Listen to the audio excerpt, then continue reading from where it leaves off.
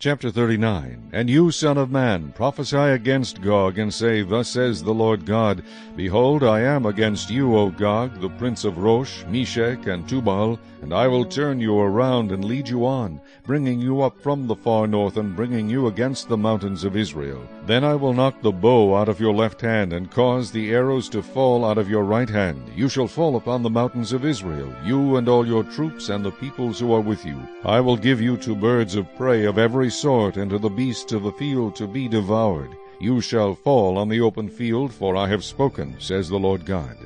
And I will send fire on Magog, and on those who live in security in the coastlands. Then they shall know that I am the Lord. So I will make my holy name known in the midst of my people Israel, and I will not let them profane my holy name any more. Then the nations shall know that I am the Lord, the Holy One in Israel. Surely it is coming, and it shall be done, says the Lord God. This is the day of which I have spoken. Then those who dwell in the cities of Israel will go out and set on fire and burn the weapons, both the shields and bucklers, the bows and arrows, the javelins and spears, and they will make fires with them for seven years. They will not take wood from the field, nor cut down any from the forests, because they will make fires with the weapons. And they will plunder those who plundered them, and pillage those who pillaged them, says the Lord God.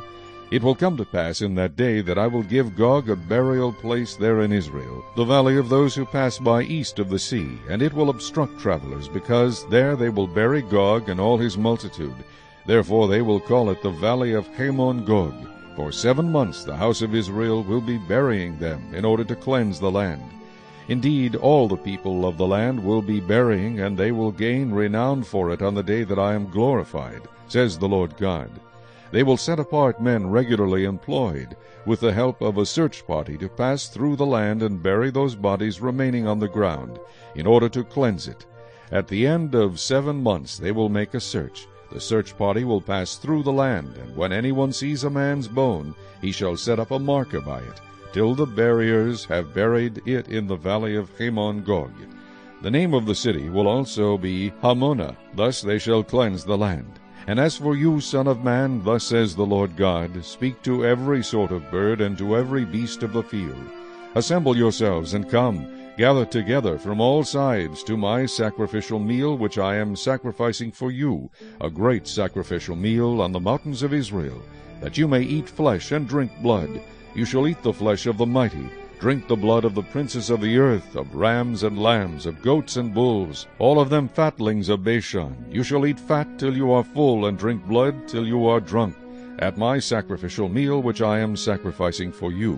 You shall be filled at my table with horses and riders, with mighty men, and with all the men of war, says the Lord God.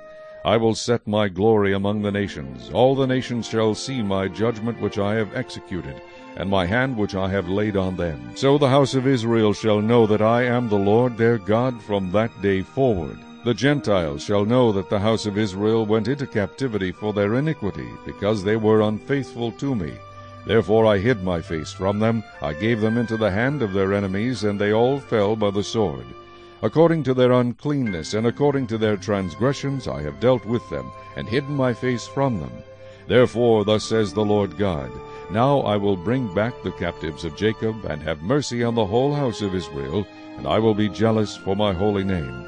After they have borne their shame, and all their unfaithfulness in which they were unfaithful to me, when they dwelt safely in their own land, and no one made them afraid, when I have brought them back from the peoples, and gathered them out of their enemies' lands, and I am hallowed in them in the sight of many nations, then they shall know that I am the Lord their God, who sent them into captivity among the nations, but also brought them back to their land, and left none of them captive any longer.